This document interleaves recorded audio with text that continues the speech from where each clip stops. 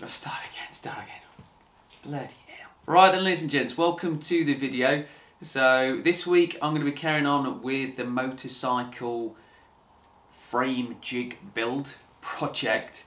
Uh, so this week I'm going to be putting together or fabricating the upright brackets for the upright sections of the frame jig. So if you're interested in seeing that, stick around.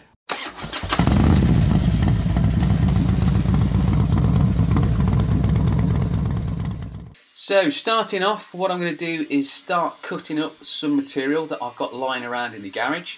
So this is an old TV stand that I managed to acquire for free. Um, I didn't use the stand or anything like that, but the base is a nice piece of plate steel. So it's around 5mm thick, which is perfect for this. It just means I've got to hack it up a little bit to get to any kind of shape that I require for the build. That one.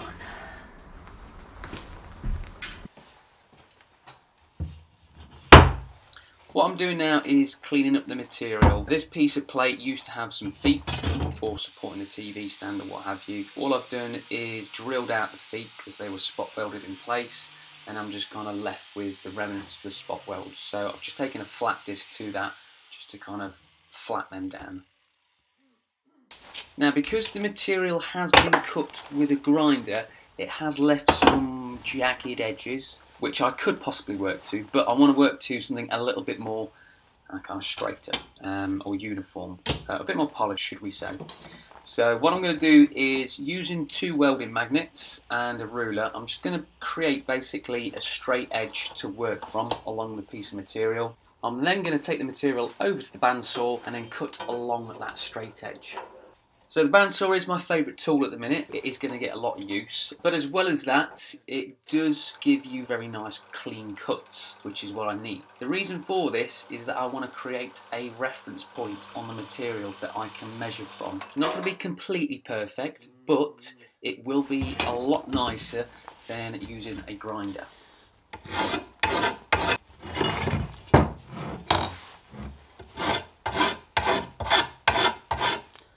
Right then, so I've got my reference edge that I can now work to. So what I can do now is using my square, I can start marking the material where I'm going to begin cutting it. So I did run into a bit of an obstacle when it came to mounting the material in the bandsaw.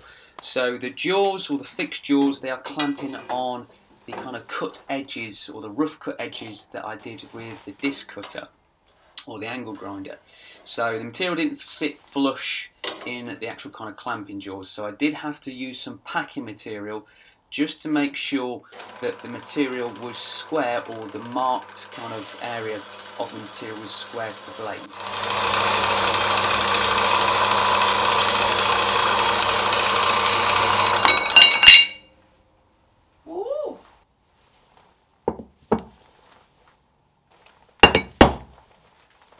Okay, so that's my material roughed out. However, there are still some jagged edges on the material that I would like to clean up. So what I'm going to do is stack the material in the bandsaw, so I'm going to clamp it up in the jaws. Now the jaws are going to rest on the nice clean edges of the material. So with the material stacked, I'm then going to run the bandsaw down all four of the pieces and that's going to give me a really nice straight cut. And I'm going to repeat that process on the other side as well.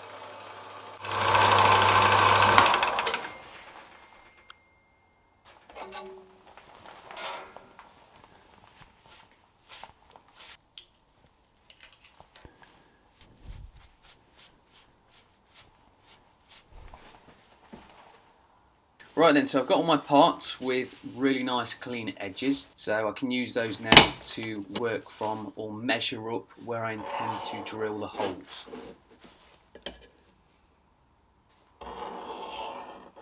So I'm using a bit of cardboard, which is measured out exactly the same size as one of the square box sections I have for the frame. And I'm just going to use that just to kind of basically mark up where I'm going to ah. drill or, or kind of spot my drilling locations.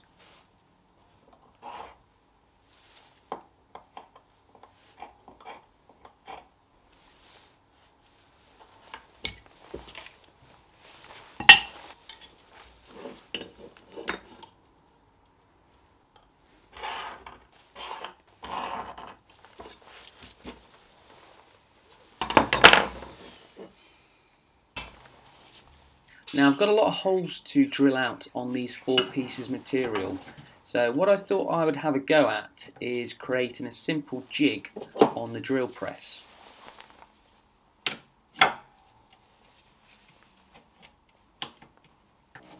Ah, that again. So using a couple of welding magnets and some box sections, I basically created a small jig uh, on the drill press and this would give me a repeatable drilling point on the four pieces of material.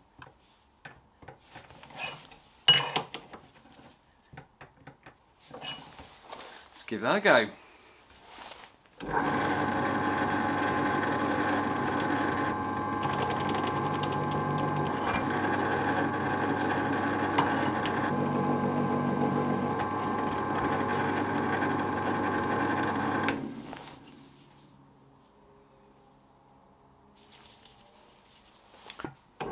So with all of the plates spot drilled, there was no real reason to keep on using the jig. I could just use the standard drills because they'd got nice spot drill to follow through.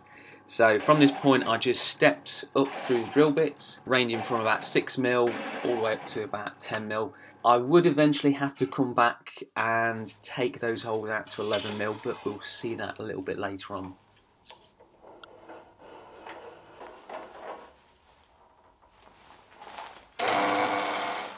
So moving on to the threaded bar, what I've done is basically set up a magnetic arm in the jaws of the bandsaw.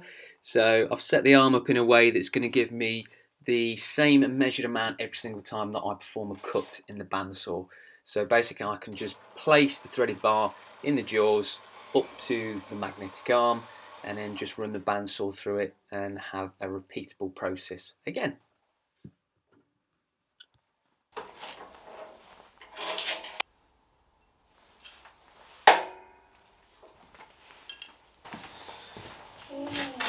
Right. Okay.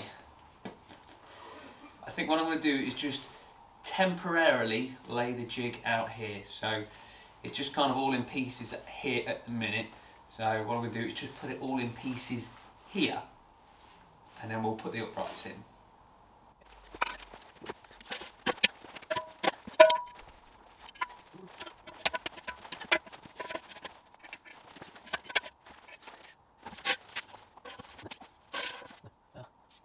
Okay, so that's a little bit lengthy. So what I'm going to do is just cut it down. I'm not sure what size I'm going to do it yet. Possibly,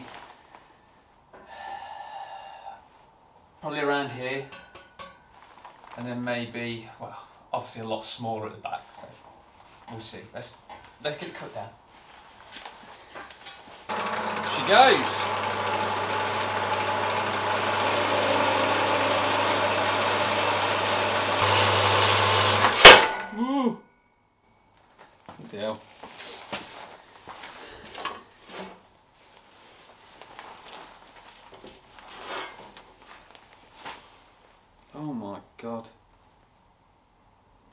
Last time we had a spider, I think this time we've probably got the remnants of a mouse house.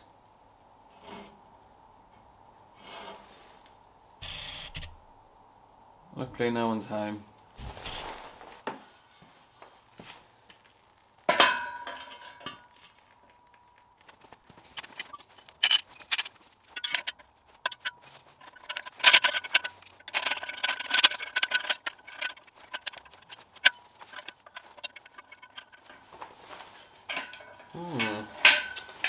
Be a little bit difficult.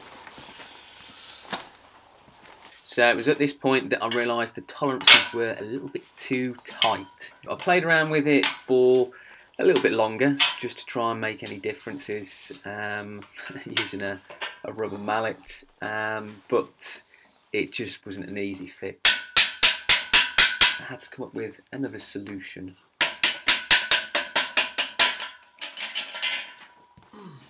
Right then, as you can see, uh, I found a solution.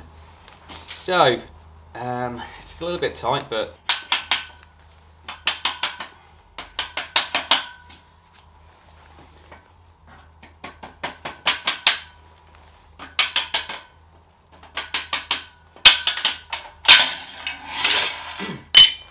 Okay, so all I've done is with all of these plates, I've just drilled out these holes so they're originally 10 mil, I've just drilled them out to 11. So they fit a lot better now.